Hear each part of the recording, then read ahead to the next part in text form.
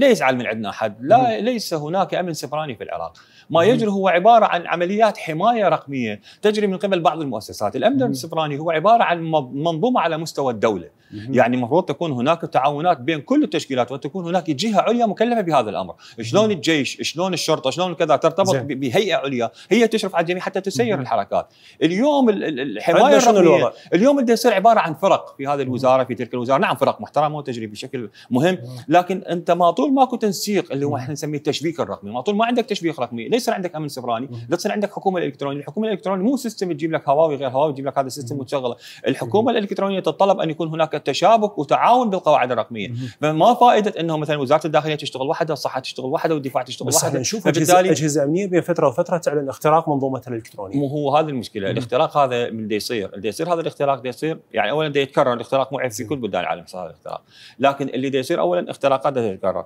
بالمقابل هذه الاختراقات حينما تحصل تشوف إنه الجهة التي تتصدى أو التي تتعرض هي التي تعلن، المفروض هناك جهات عليا معنيه في هذا الاتجاه ويصير تنسيق، والتنسيق هذا ليس فقط تنسيق داخلي وإنما حتى تنسيق أممي.